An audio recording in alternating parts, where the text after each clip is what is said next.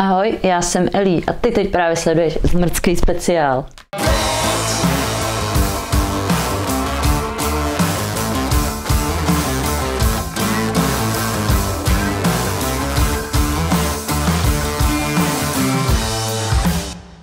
Dneska to ale svým hostovi pěkně stížím, protože to zmrzký speciál. Takže jsem se rozhodla, že na konci mu políčko uberu, místo toho, abych mu ho přidala. No ale furt má tu možnost si nabrat těch svých šest dalších políček. Takže teď se jdeme kouknout na to, jak to celý dopadne.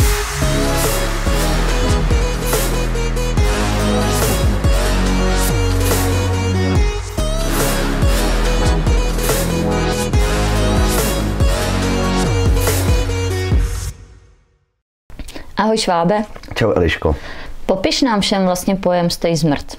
Tak vysvětlovat ten pojem asi není úplně složitý. To je prostě mm-hmm. zůstaň zmrdem, jo. No. Ale vlastně jsme satiristická banda debilů, která prostě na Facebooku jsme hlavně teda začali jako dělat nějaký content, nejdřív teda dost jako uzavřeně v naší společnosti jenom, pak jsme to ale pustili jako veřejně a vlastně reflektujeme na, na obecný dění, jak u nás tady, tak i ve světě takovou formou, kdy si z toho vlastně trošku děláme prdel, vždycky to dokládáme nějakou koláží a nějakým vtipným popiskem prostě, no. To spíš takový jako někoho nasrat a zároveň mm-hmm. někoho pobavit, no. A ty se ke Stay Smrt dostal jak vlastně? Já nejsem zakládajícím členem, vlastně kluci to založili nějaký partii asi 4-5 lidí, patřil mezi ně Honza Palička, Skřivan, tvůj brácha, že jo, Vegi. Mm-hmm a Nikola Djokic. A vlastně já jsem se dostal k tomu docela vtipně. My jsme, jsem byl na Řezníkově oslavě narozenin, u něho tenkrát v baru v Martyho Frcích. A byli jsme takhle jako zádu v kuchyni a Řezník mi říká, Švábe, ty, jsi sám furt, jsi single. Já říkám, jo, jo. A on, hele, musím tě seznámit s výborným člověkem. Asi padnete do vok. Nikola se jmenuje. Ty vole, ty jsi skvělý kámoš, super, ty kde ji uvidím. Já baru stojí. Já říkám, tak jo, vyjdu ven tam ty samý chlap ty na tom baru. Já už jsem byl co jako nadsamraný, že jo, a říkám, kde je ta Nikola? No, otočil se takový dvoumetrový pološedivý srp, ty vole, na baru a říká, co chce? A říká, co ty seš, ty seš chlap nebo co? Já jsem se Nikola, ty vole, že budeme spolu chodit, ty vole, něco takovýho, ne? A on, já jsem Srb, a já říkám, Kosovo je Srby a on se rozeběhnul přes celý ten bar, aby se nevěděl, jestli mě napálí nebo ne, ale objel mě. Od té doby jsme jako fakt dobří přátelé a Oni kluci pak začali pořádat už jako větší ty Stay Smart Party, ke kterým se třeba ještě dostaneme, ale mm-hmm. tam vlastně uh, se mě zeptali, protože jsem dělal produkci jako Martimu a takhle, tak jestli bych jim nemohl nějakým způsobem pomoct prostě s tou produkcí těch, těch party a takhle. Tak jsem samozřejmě na to kivnul, protože jsem kluky znal, jakoby, jak Stay Smart, tak jako i je jako osobně některý už tenkrát, takže jsem na to rád kivnul a od té doby tam s nima jsem, no. A když mluvíš o těch party, tak kolik party má Stay Smrt za sebou? Jaká byla taková asi nejvíc legendární? Ty bláho, no on ze začátku se to dělalo v našem domovském baru v Rokáči, kde vlastně i ta celková myšlenka jako Stay Smrt jako vznikla tam mezi klukama. A tam mám pocit, že byly snad tři ty party nebo čtyři. A to byla vlastně i první party a zároveň poslední v tom Rokáči, který já jsem se jako zúčastnil. A Potom jsme to přesunuli do Stormu, kde už vlastně ta kapacita byla nějakých 800 lidí a podařilo se nám to jako po každý vyprodat a tam v tom Stormu jich snad taky další čtyři byly. Takže jich bylo podle mě 7 nebo 8. Jasně. No a jako nejlegendárnější, no oni byli legendární dost všechny teda. To věřím. Ale takový ty, takový ty první v tom Stormu, no, kdy jsme tam měli luštělu prostě a to domluvání s nima, nebo když jsem nebo když jsem se tam dohadoval s, se Sámerem Isou, kterýho jsem tam nakonec dotáhnul, no to bylo jako bizár neuvěřitelný, jo. A ještě ten, ten vocas, jak chrání ty, chránil tu Bartošovou, teda docela neúspěšně. Macura. No. Macura, no. Tak toho jsme tam měli s tím svým projektem proti násilí ženám, žena, na ženách, takže prostě si tam přitáhl ty svoje banery prostě na to pódium a rozdával tam letáky prostě a tam na něj lidi řvali, vole, že ho zbijou a takovýhle a on tam vyprávěl o tom, jak se nesmí dělat násilí na ženách, no. A, a pak samozřejmě nejvíc legendární byl malý Mišo, no. Mišovi šílenosti, nebo jak se to jmenovalo, protože ten do, mu bylo 10 let, že měl první vystoupení mimo Brno. Tam jsme ho jako dotáhli. Přijel se svým bráchou i se svojí rodinou. My jsme museli zabezpečit nějaký hotel prostě tam v okolí toho stormu, že jsme tam ubytovali někde na Žižkově. No a to bylo, to bylo jako naprosto neuvěřitelné. Tam prostě řvali na, na, na tátu, vole, táta je čurák, máma je kráva, ty ukaž kozy a, a jako takovýhle, to bylo, to bylo naprosto šílené. Takže se tam hodil vlastně. No, to byly myšové šílenosti na entou, jako. To bylo fakt bizár neuvěřitelné. No a historku, jak vzniknul Stay Smrt, vlastně znáš? Každý jako vypráví tu historku trošku jinak. Jo. Tam prostě už byly nějaký jako poroušený dost jako pochlastů a takhle a nějaký fer tam někde prostě na baru vyváděl nějaký blbosti a vlastně Stay Smrt měl Vegi tenkrát, když měl kapelu Bercen Walls, mm-hmm. tak uh, to chtěli nějak jakoby zaprodat do té do kapely, nevím, jestli chtěli pojmenovat desku, nebo jestli to měli jako merch prostě připravený, jako, ale i to logo vlastně tvůj brácha mám pocit udělal. No a tam nějak frajer prostě spadnul nějak z toho baru a a začali na něj jako lidi řvát, ať se jako uklidní a on ne, že jste zmrt, vole, a takovýhle, takže z toho to pak nějak jako vzniklo. Třeba znám taky jednu od tvýho bráchy, že právě byli tenkrát někde na nějakém festiáku podělaným, který se jmenoval Stay Positive nebo něco, a že mhm. prostě všichni se tam snažili uměle, uměle prostě hrozně pozitivně nalazovat a svého bráchu to prostě samozřejmě začalo srát, tak tam spíš prostě chodil a požrali tam vyřvával, že chce být stay zmrt, jo, a takovýhle. Takže říkám, těch, těch historek je víc, jako každý to občas říká nějak jinak, takže ono vlastně nikdo ani neví, jak to vzniklo, ale... A mimo to vy jste jezdili i nějaký akce. Vy jste i v Budějkách na Majálesu. Jo. To dopadlo jak? To vlastně jsme měli prostor na jako hlavní stage na tom v tom prostě v obrovském stanu Krety, mm. kde normálně vystupovali kapely a my jsme tam měli vystupovat jako poslední před jako diskotékou, že tam byl pak nějaký DJ. Mm. A teď jsme jim tam měli jako vyprávět o tom, jak se jako má užívat černý humor prostě na webu nebo na Facebooku, na sociálních sítích, aby jsme nebyli furt zabanovaný a takovéhle věci. A že jsme se tam pak prostě třeba jako střípek jeden kousli prostě ve, v té backstage toho obrovského stanu a už tam hrál nějaký ten DJ a hrál prostě nějaký sračky, ne, jako nějaký Krištofy prostě, nebo něco takového jako neúnosného. No a pak odešel se vychcat nebo něco, no tak jsem prostě neváhal, vlítnul jsem na to pódium, prostě zpíl jsem tam telefon a odpálil jsem tam Slayer prostě, že úplně jako na, na, na, na těch tisíc lidí, že jo. A ty ty lidi prostě jenom čumí, začínají odcházet a vůbec nevědí, co se jako děje, že jo. Pak jsem chtěl utíkat z hotelu, protože jsem si myslel, že už budu se platit ještě další noc. Je na dveřích napsáno, že v 10 je checkout, jinak se platí další den, že jo. Jasný tak se kouknu na hodinky a bylo asi půl jedenáctý, ne? tak já úplně stres, že nechci platit sám takový apartman, když ty zmrdi se na mě prostě vysrali a odešli. Tak jsem to vymyslel, takže jsem si narval prostě polštář do krosny a krosnu jsem hodil na záda a skočil jsem z okna, že? to bylo jako, jako první patro. A pak jsem ještě furt úplně na sračky, že já prostě jsem se to jako vzal a vyskočil jsem jako prostě potápěč, ty to. A bylo asi metra, dva metry to mohly být, jako žádná jako mega výška, no. Ale prostě pod tím oknem byla výloha toho hotelu a tam byla ta recepce, že, toho, toho ubytovacího zařízení a teď prostě jsem spad. Teď se samozřejmě všichni koukli, co to je a tam stály ty kreténi u té recepce, tak tam dávali ty karty a koukali na mě, vole, co jsem, to, jako, jak jsem tam jenom odložil tu kartu a ten parapet a šel jsem do prdele. A nakonec jsem zjistil, že to celý platil Břínek a že, že to snad stálo, já nevím, 300 korun na noc dohromady, jako, že byl úplně zbytečný celý. Tak jako zjišťuju, že vlastně je to tvůj i takový docela životní styl, ten statement. I v rámci třeba tvýho tetování. Třeba tady, se to vlastně nebude, není vidět, ale nad kolenem mám, mám znak Imperia ze Star Wars a uh-huh.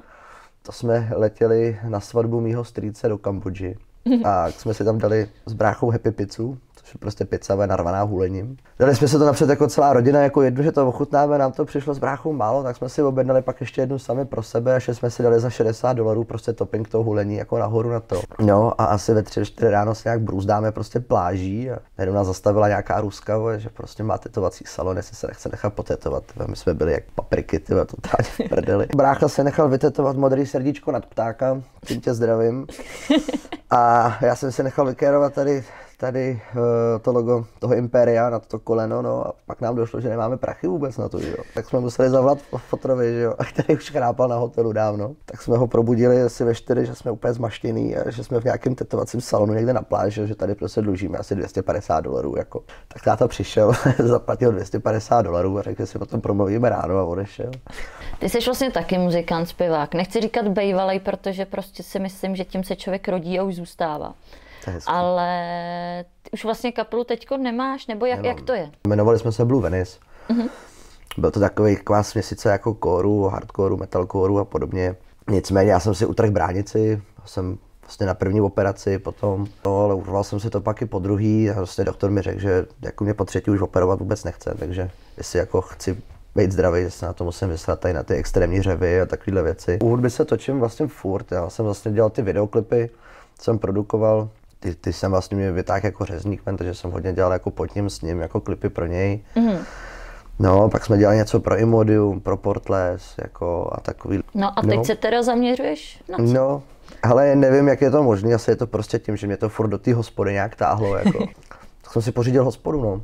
Vlastně hospoda u mě na jihu, jižní město. A v září, na konci září, vás tam všechny klidně rád uvidím a pěkně se tam zlijem, no, protože to bude krásná nová hospoda, restaurace, nová kuchyň, prostě všechno kompletně. Dělá nám to chlápek jako architekt, mm. co dělá lokály a, a potrefený husy, jako jo, takže si myslím, že to bude fakt krásný a hrozně se na to těším, no.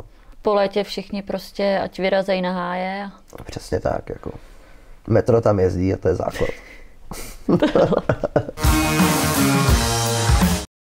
tak a teď jsme u první hry, tentokrát nebude hádací, ale bude papací. A bohužel si to slízne Boba. Budeme se utěžit v tom, kdo rychleji ují tady ten talířek citronu. Aby to bylo fair, tak samozřejmě já mám fitness verzi dámskou, takže mám o čtyři míň a hlavně chci vyhrát, takže jako proto je to takhle fair. To myslím, že bude ten pravý důvod. takže to musí No není být, toho málo. musí to být normálně vykouslý celý. Musí to být úplně, jo. Tak já to odstartu. Tak to můžeš odstartovat. Tak tři, dva, jedna, teď.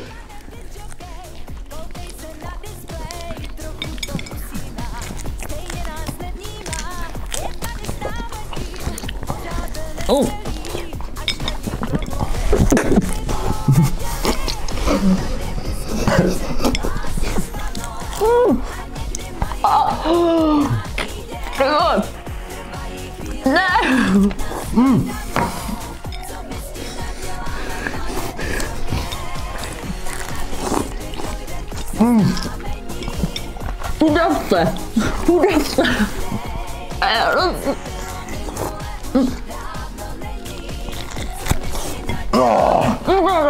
máš. Ne, to je tvůj.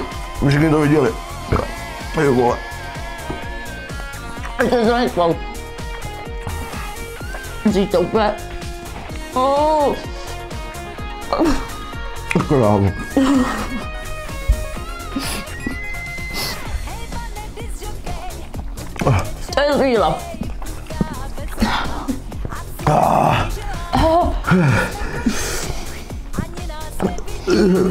Abych byl ještě použitelný na ty další hry.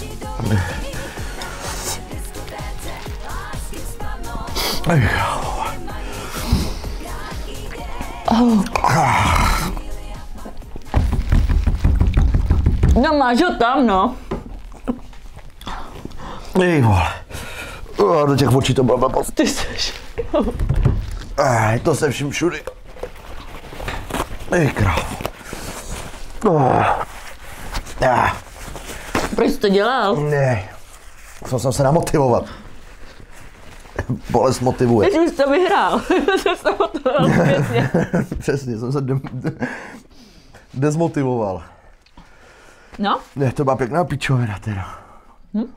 Ale dal jsi to. No, nedám si mochito dneska už. Tak bod máš? Yes! Tu si pro tebe!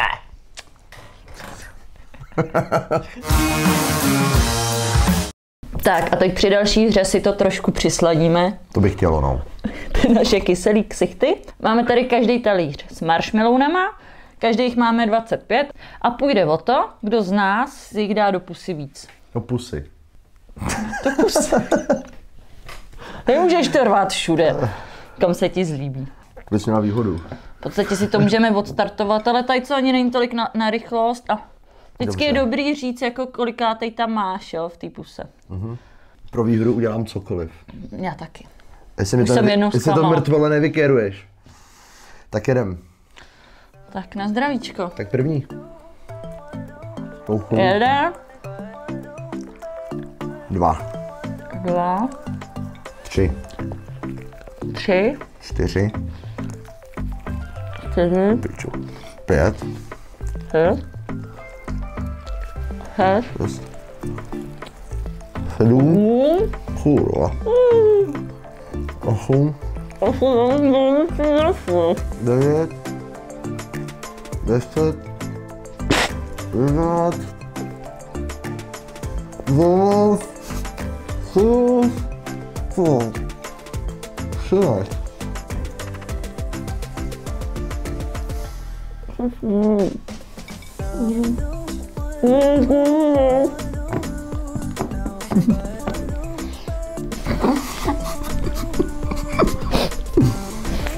Mm-hmm. Mm.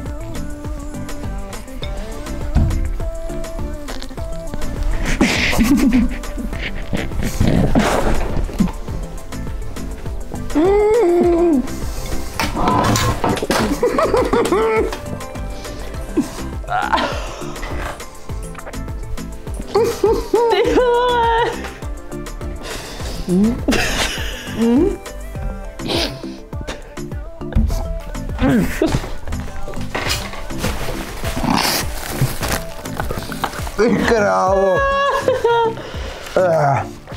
Je, Ty vole, jak to děláš tohle? nevím, ale zbylo mi jich osm. Kolik to bylo? To Burn! nebudu počítat, tak máš další bod. Yes! Kurva! Ty, já jsem se celá tady posled... odplivla, ty vole, úplně marshmallowní marmeláda, ty vole. Tak, třetí hra bude opět soutěžní mezi náma dvouma a půjde o to, že tady ty tři pingpongové míčky, které má každý z nás, musíme odsaď dostat přes ty čtyři plné kelímky vody až do toho posledního kelímku, který je prázdný. A můžeme používat jenom pusu a budeme foukat. A kdo jako první tam bude mít všechny tři, tak ten vyhrál. A když ti padnou mezi tím někam mimo, tak ho musíš sebrat a zase odstartovat od začátku od prvního kelímku. Můžu foukat do tvýho? Že mi tak chceš jako Je, díky za radu, já už pak potřebuju vod. To se nesmí samozřejmě, jo? Zapomněla Eliška dodat. Tak jo, a po jednom samozřejmě. Dobře. Takže si připravíme první na start. Tak tři, dva, jedna, můžem.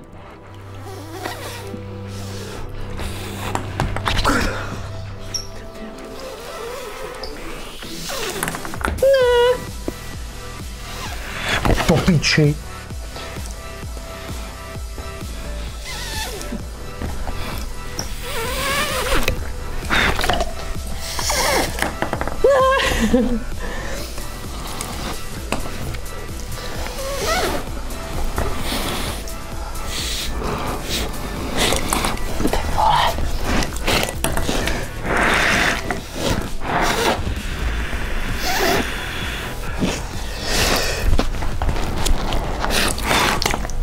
Už nemám vodu. Mokrý por.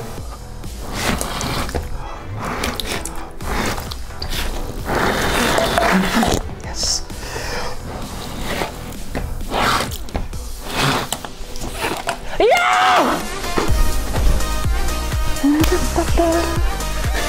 Mám bod, mám bod, mám bod.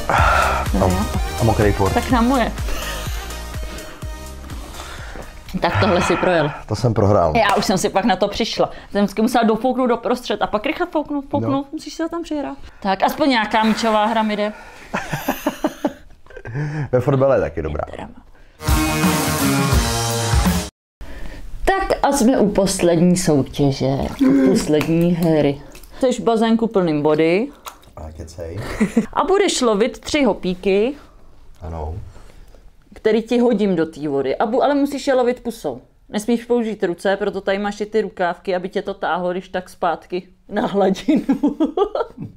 Jenomže nebudeš tam mít jenom vodu. Já jsem se rozhodla, že ti do toho bazénku přidám takovou typickou chlapskou večeři, kterou zvládne každý chlap. Máš mít na to minutu a 27 sekund přesně. Kdyby si chtěl, máš tady možnost brailí, ale zase hůř se ti podle mého bude lo- lovit. Ale můžeš je využít podle toho, až uvidíš, co ti tam hodím. Nejdřív ti tam hodím ty hopíky. No tak už to hoď. Na krevetku, ty vole.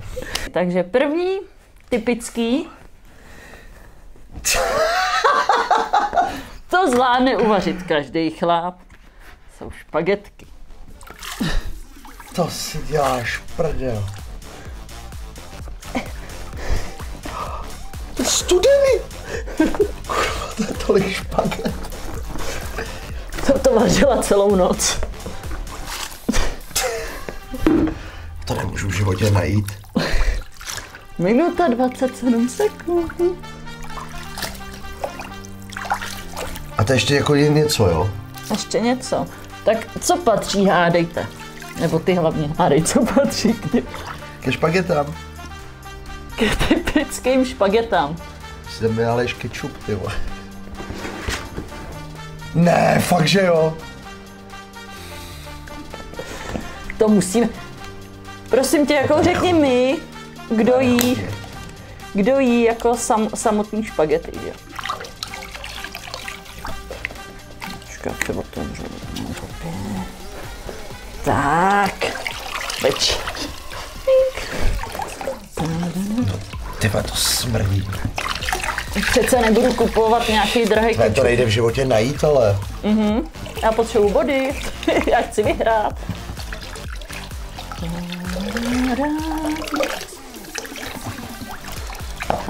Dofrnknout. Pojď ještě poprdět.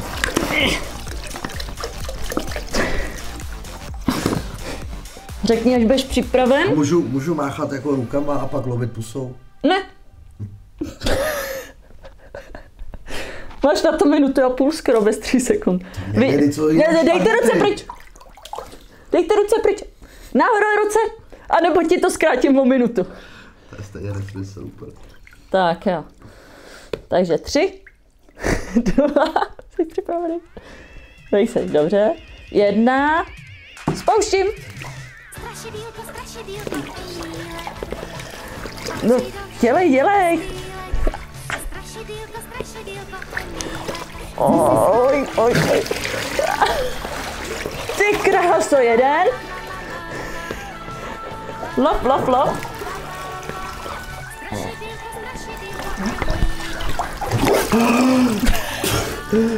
Tady kde byl,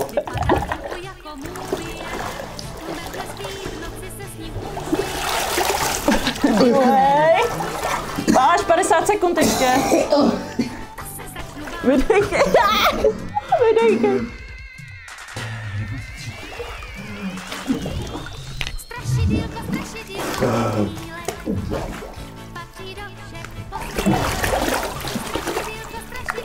Emílek.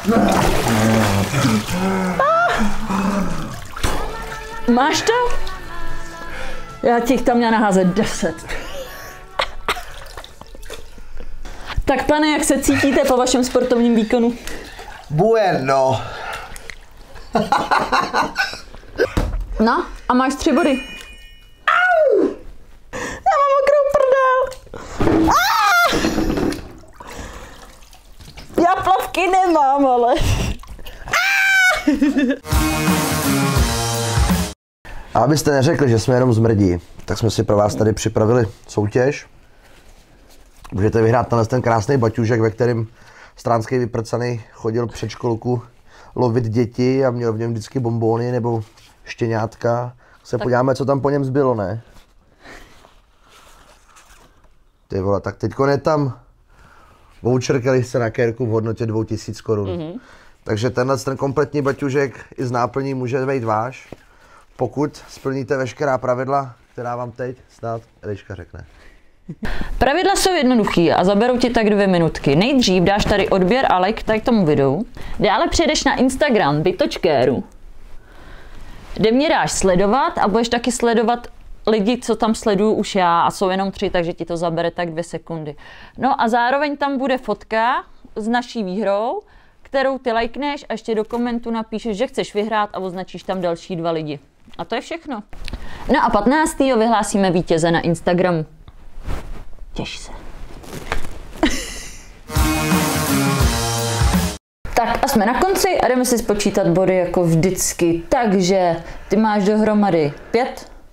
První bod si měl za Citrony. snědený, snědený citrony. Další bod máš za marshmallowny. Je to tak. A tři body si vlastně vylovil z toho bazénku krásného, osvěžujícího. Takže to máš pět bodů. Akorát, No. že je to zmrzký díl, takže já ti nepřidám bod, ale já ti jeden uberu. Je to zmrtkyně. Takže máme čtyři body pro tebe. Takže si rovnou vyber svoje čtyři body, jaký chceš. A pak ti rovnou ukážu kérku, která tě čeká, když to nepadne na tvůj bod. Čtyři svítěj, ne? Super, čtyři svítěj. Takže tvoji kérku známe, Ano. to teď můžou všichni vidět rovnou na obraze. No. A teď ti ukážu tu moji kérku a prosím, prosím, já chci vyhrát, já chci vyhrát.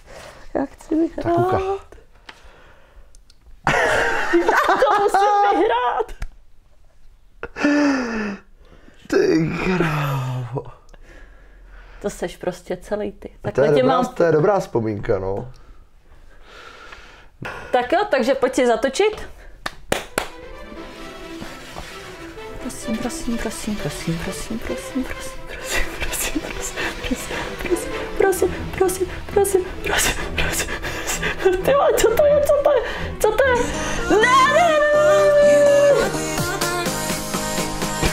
Proč?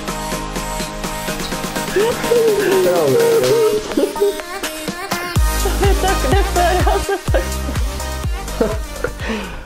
Tak jsem si omluvit všem fanouškům, kteří mi to nepřáli, ale, ale víš co, Oni ti, už po tady tom díle koukat nebudou já ti, prostě. slibuju, já ti slibuju, že si ji taky nechám vykérovat někdy. U tebe. To slibují všichni. No Ty nic. krása. No, tak se jde tetovat.